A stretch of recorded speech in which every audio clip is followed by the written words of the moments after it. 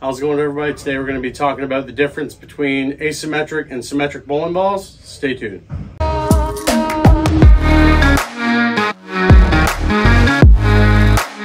Alrighty everybody, like I said in the intro, we're going to be talking about the difference between an asymmetric and a symmetric bowling ball. My name is Ben Lapointe, if you don't already know me. Um, basically, here today we got two bowling balls. We got the Storm Virtual Energy Blackout and the Storm Fate. The only difference between these two bowling balls, aside from color, because obviously you can see that they are different in color, um, the only difference between them is the core. Uh, both covers are REX Pearl, uh, pretty clean, pretty strong off the back cover. Um, they've used it on the Night Road as well, and I'm, I'm pretty sure they've used it on a couple other releases.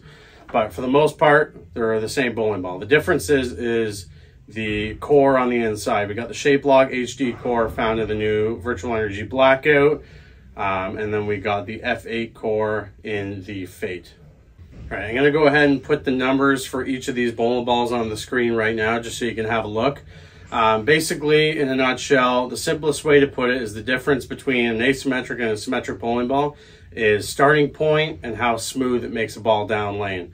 Um, You'll see it from the shots we throw. I threw a couple shots with both balls to kind of show you exactly what the difference is on the lanes.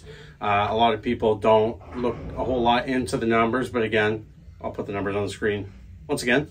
Um, basically, this is going to start up a little earlier, be a little smoother down lane, and the fate is going to be a little cleaner with a little more pop off the back. Obviously, uh, you can change ball reaction with surface, layouts. Uh, layouts not so much, more so surface, but these came right out of the box at Reacta Gloss finish, so everything has been held constant, including the layout, uh, five and a quarter by four and a quarter by three. Uh, let's get out there. We'll see what we see out of these two bowling balls, and then we'll come back to the shop and talk about it.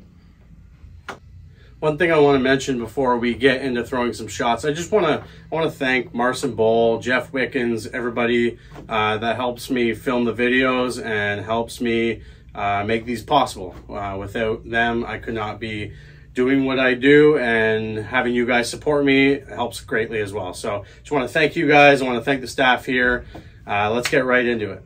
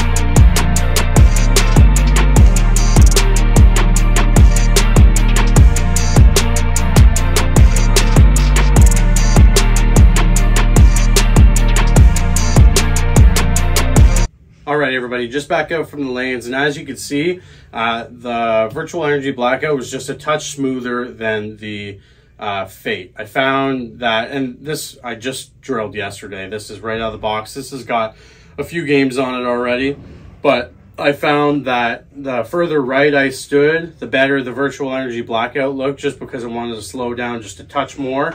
Didn't want to really overreact off the friction.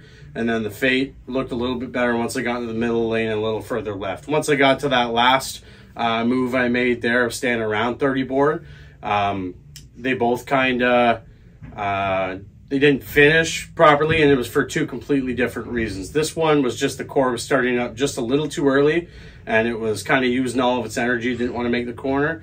This one here was just a little too clean and never really wanted to grab the grab the lane and make a transition. If there if it was a little drier out there, this ball would have been perfect for that situation. And that's kind of why these bowling balls are a great one-two punch because with the same cover, you really don't have to sacrifice uh, different reaction you out of the out of the cores. Like you can start with this. Well, depends on where you're bowling on. You could like let's say be in transition with this one, and you can get as you get a little further to the left and it starts to dry up a little bit, you should be able to get into the fate and have the same basic ball reaction. You should have the same shape. And that's what's really nice about having two balls with the same cover in your bag. Same core is not always fantastic because if one core is locking up, chances are the other one's going to lock up even if it's got a pro cover. Another thing I kind of want to mention is that the virtual energy blackout here, just because it's an asymmetric pearl, doesn't always mean that every asymmetric pearl is going to react exactly like this one. The numbers of the core and the cover combination they put on it typically uh, has made this ball nice and clean, really smooth, and still strong off the back. But the exotic gem, the, uh, the eternity, the original eternity, they're asymmetric pearls as well, and they make very different motions down lane between each other and this. Same thing goes with symmetric uh, symmetric pearls. The Zen, a little earlier rolling. Uh, Duo, really earlier, uh, a little earlier rolling, I guess I should say. The Fate is more of a bottom of the bag. It's cleaner, and if Storm had put the Meditate core from the Zen in this one, and they put the uh, the core from the exotic gem and this one, we could be looking at two completely different bowling balls.